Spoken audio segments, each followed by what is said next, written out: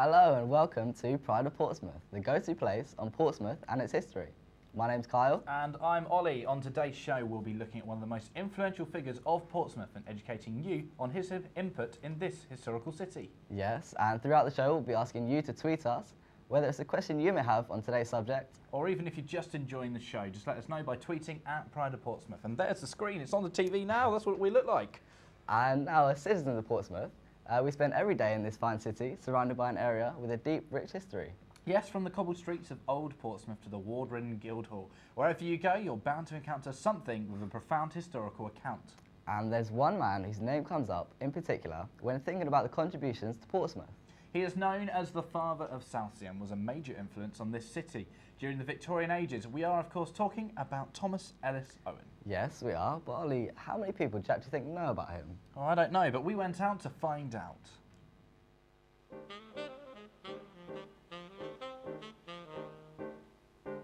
Do you know who the father of Southsea is? No.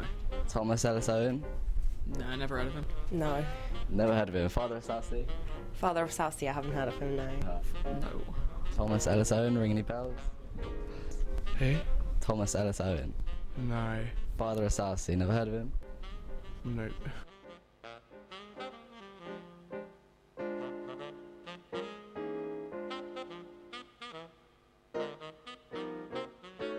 Thomas Ellis Owen, ring any bells?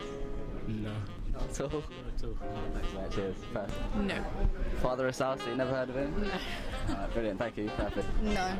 Father of Southsea, not heard of him? No. Alright, thank you. So I noticed, out of every single person you asked there, not one of them knew about the father of Southsea. Literally, we mentioned his name, we mentioned the father of Southsea, just not one person knew. Oh, it's quite surprising they didn't know about Sir Quite Thomas Ellis shocking. Owen, isn't it? Uh, it seems that way, but it's good news for us because today's show will educate you a little bit about what Owen did for the people of Portsmouth. But before we jump into what he did for us, I thought it'd be a good idea for us to get a bit more information about him. So let's give you guys a question and let's see what else he has done. When did Thomas Ellis Owen come to Portsmouth? Was it in the 1820s In the 1830s? or the 1840s? What you can go with? Uh, random guess. I'm going to go for 1840s. Okay, um, I'm going to do the other end of the scale and I'm going to go for 1820s. Come on, 1820s. What's the answer? Yes! 1 0 to you. Ah, 1 0 to me. Come on. Okay, uh, we're now going to go and speak to someone called Sue, a lovely lady, and find out what she's been up to in, with her involvement with Thomas Ellis Owen. He was a family man and he only ever had one child and shortly before shortly after she was born he his family um, which consisted of his parents and um, 12 brothers and sisters um, they moved to Dublin. M- most of the brothers and sisters went to Dublin with the parents. Um, and I I think that kind of left alone he probably knew by that time that perhaps he wasn't going to have any more children. And he if you think about it, he'd been surrounded by um, people really all his life with, with, with that big family. And um, probably he was kind of left alone with his wife and his child. And I think he, it kind of motivated him really, this, this kind of feeling of family really motivated him to then go on and develop Southsea. I think that's why, how come he had the energy. I think if he'd had loads of children, probably he wouldn't have gone on to do that. But I think because of the way he was, because he was a student, he was hardworking, and he was a family man, probably that was how it came about, really.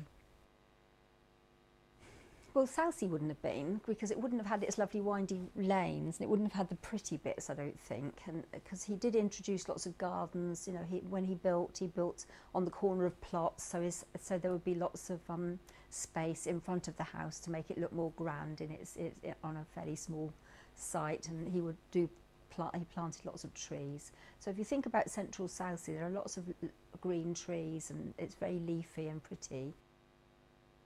I think really it was laying out was laying out Southsea really. I think it was really because um, he did build an awful lot of houses in Southsea. He did he was a town planner. He built he designed the roads. He designed the kind of structure of Southsea. When Southsea start first came into being, I mean, it was a kind of just a swampy kind of.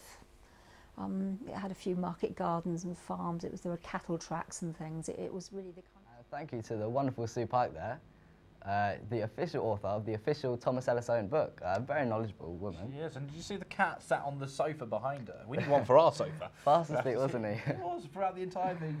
And uh, we'll be back to find out a bit more about Owen a little late in the show. Now, Carl, we know how um, Owen helped develop Southsea, but is there anything else you think we ought to know? Yeah, there's lots of things. Uh, I can tell you now, it wasn't just Southsea Owen was involved in, but to make it a bit more interesting, uh, I've got a little quiz to test your knowledge. Are you ready? I love quizzes. I'm a bit competitive. Just, just warning you now, but I think I know enough to give you a good, money for, uh, good Well, run for your money. Let's find out. Uh, he was known as the father of Southsea. Do you know why he earned that title? Yeah, I think if I remember right, he I read somewhere that Southsea used to be a um, farmland, which he worked to change into a garden suburb um, with houses for the growing population. Is that right? I He think did, that's right. spot on. Uh, can you name any building of note he designed in Southsea? yeah, that's easy. Um, St Jude's Church. It's right in the centre of Southsea. And I also know that he built a lot of the buildings around it. And the only reason he built the church was so that he could sell them. Because obviously, as a church, the houses become more valuable and more appealing to the locals. And obviously, the place will get richer. So he built them for that. And I also happen to know that he managed to, uh, well, he designed a number of the civic centres and commercial buildings that we see all over the place. that is impressive. Even I didn't know that. uh, do you know where else nearby he might have worked?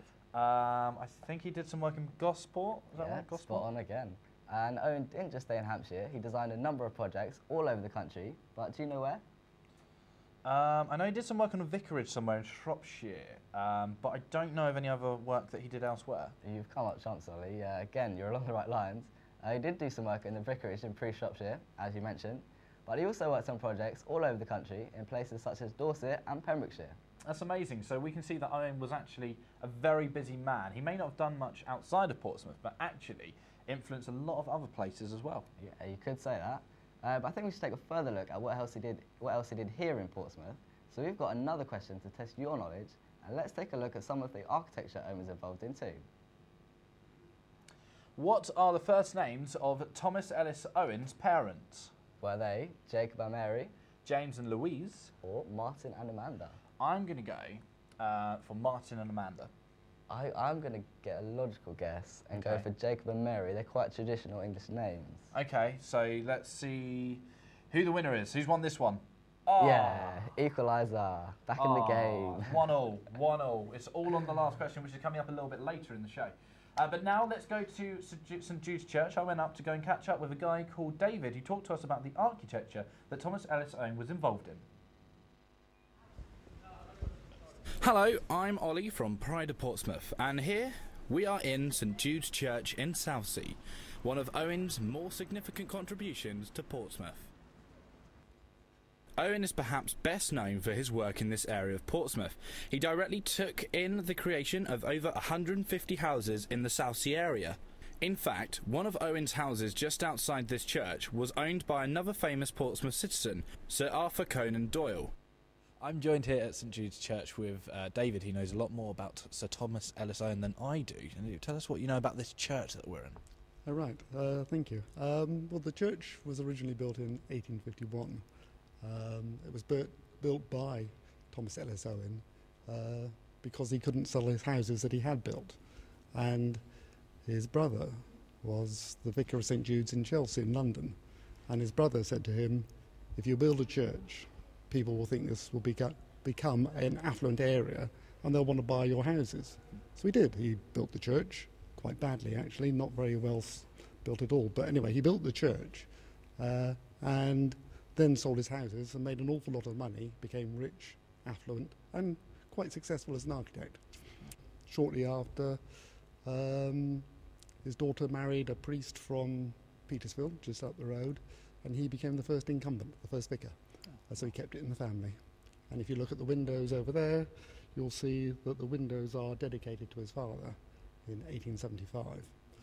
Uh, going on from that, the church had many different sort of makeovers and changed quite radically over the years um, to what you see it now. We see we've got a gallery Mm. here inside the church. Tell us a Mm. bit about why why we have that in there. 'cause obviously, not many churches we see these days have them. No, no, indeed. And originally the gallery wasn't part of the church design. Uh, it was just one single floor with pews in. Uh, but the story goes that um, the good people of Southsea, who were coming to St Jude's, were quite affluent and wealthy, well-to-do, with servants at home, and the good people thought their servants should go to church because it would be good for them. Uh, so they thought, we need more space. Where are we going to put them? Actually, we don't want them sitting with us. We'll put them up in the gallery. So they built the gallery all the way round on three sides. That's why the window at the back is split. You can only see a very little bit of the bottom and a large bit of the top. Uh, so the galleries were built with separate entrances, so the servants wouldn't come in with the rich and wealthy, but would come in by themselves. Uh, they would sit upstairs, and the good people would sit downstairs. Uh, Dave, thank you so much for talking to us. Pleasure. Um, we'll go and have a look around and see what else we can find. Lovely. Thank you. Thank you. What does this represent inside the church? Well, this is the Lanyon Memorial, and it was uh, built mm, 1890, that sort of time, and it represents a memorial to the Lanyon family, which is all rather sad because uh, the, the wife, Florence, who was the wife of the colonel, she died in childbirth. He died a few years later in, Lon- in New York, and they brought him back and put him in a cemetery in London with his wife. And it's also uh, celebrates the life of Herbert Marsden Nan- Lanyon, who was a midshipman who died at the tender age of 16. Uh, and he was the son of Herbert, who was the brother of Lanyon. So it's a, it's a the Lanyon memorial. It's all rather sad in terms of early death. I particularly like her, her hands. I think her hands are rather beautiful.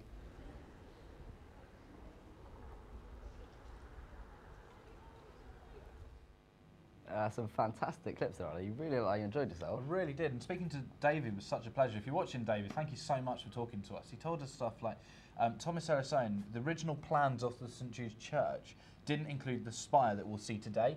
And what um, what he did, they, well, they created the spire for the navy so that when the naval ships are coming back into Portsmouth, they could use it as a way of navigating back into the port. It's fantastic. Very, that's There's- fascinating. There's also a plaque as well, which David was telling us about, um, that was left by um, Queen Victoria. Now, they don't they don't have any proof that Queen Victoria was there, Mm. um, but they seem to think she was because they, well, there wouldn't be a, a plaque there, and also the roads next to St Jude's Church, they're all called like Queen's Crescent and Queen's Road. So, um, Yeah. again, I, I mean, David taught, told us all that, so thank you again. Uh, anyway, so we see a lot of Owen's work around Portsmouth, but what don't we see, Carl? Uh, what, what do you mean? Pigs. what? Well, Portsmouth is clean, isn't it? I guess so. Yeah, that might have not been the case without Owen.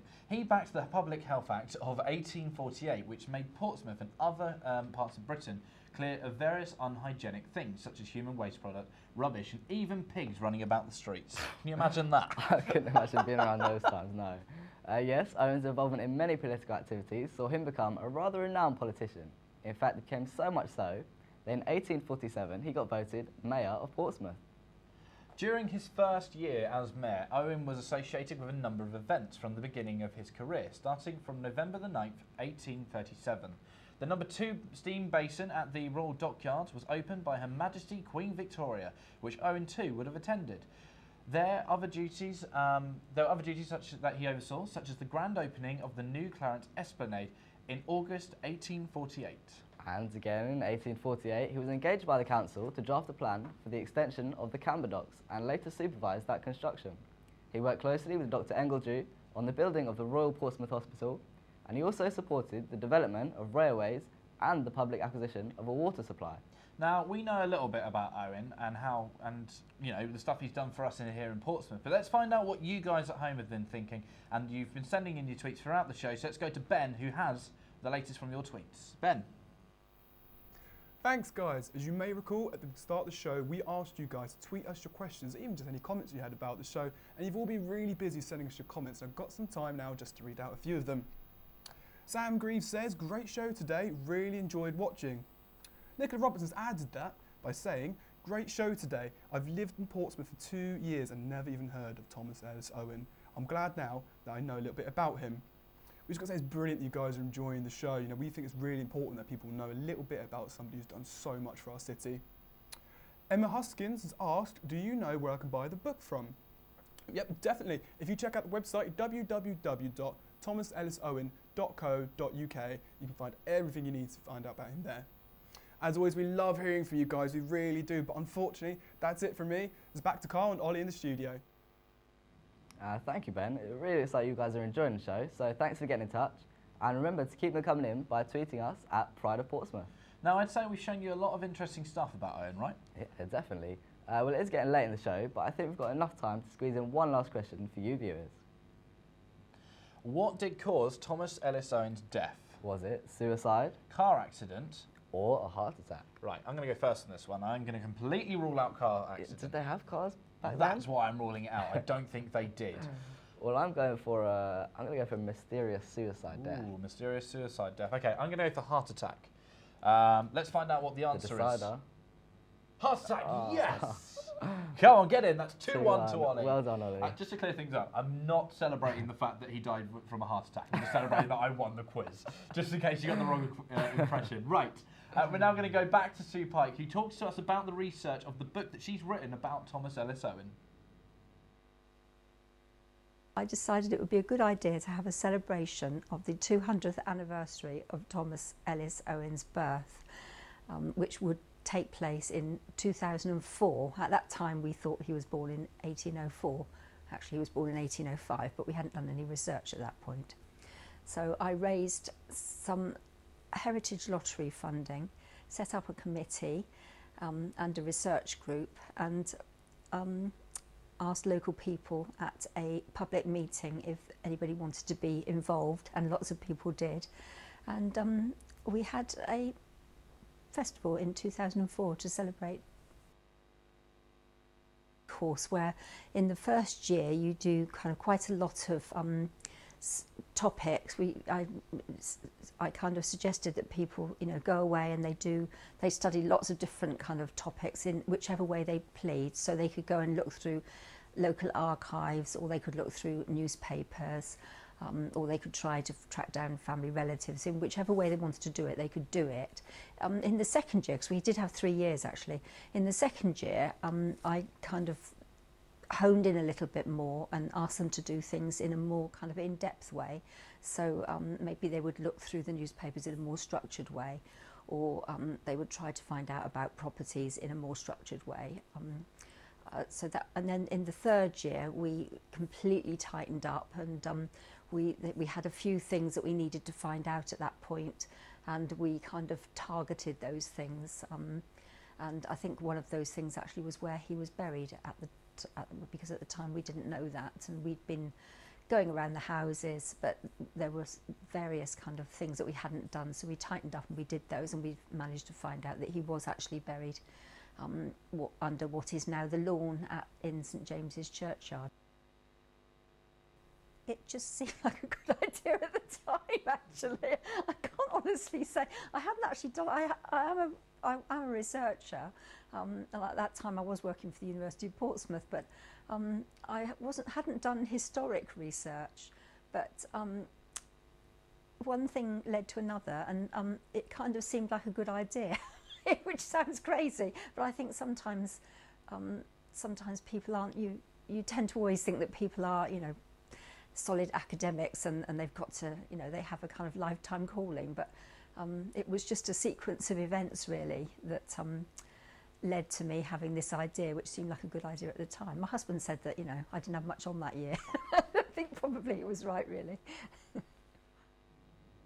Uh, thank you. That was a brilliant Sue Pike there again. You know, it's the cat's gone missing. I know he's off Yeah. for a walk? I sent a message to. He's going to come join us and join us on our sofa here in the studio. Uh, anyway, sadly, that's all the time we've got for today. But I hope that we've taught you uh, a bit about a historical figure who had a great impact on how we see Portsmouth today. And if you want to find out more about Thomas Ellis Owen, you can check out the official website at www.thomasellisowen.co.uk. Yeah, make sure you give that site a visit. Uh, well, Carl, I feel we've learnt a lot today. Absolutely. I think uh, every time I walk down Palmerston Road now, I'll uh, see St Jude's Church and I know a bit about the man who built it, Thomas Ellis Owen. Uh, indeed. Anyway, thank you so much for joining us. That's it from both of us. Goodbye.